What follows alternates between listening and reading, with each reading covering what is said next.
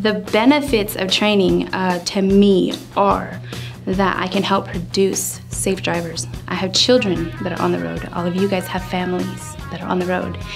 And um, that's something that I've been really stressing to my students is their safety, not only for themselves but others.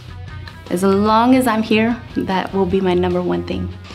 The fleet team I have now is incredible. Everything that I need, they are 100% on top of. No matter whether it be advances, time off, uh, issues with a customer, the communication between us and the CSRs is just incredible. Get to know your fleet team. I don't mean you got to be their best friends, but reach out to them, get to know them, introduce yourselves, and let them know everything. They know every hiccup we have, it comes across that message system. But even if we don't need their help, I will randomly email them just to say hi. It's good to build that connection. I am a Covenant All Star. We are Covenant All-Stars. I'm a Covenant All-Star. Are you?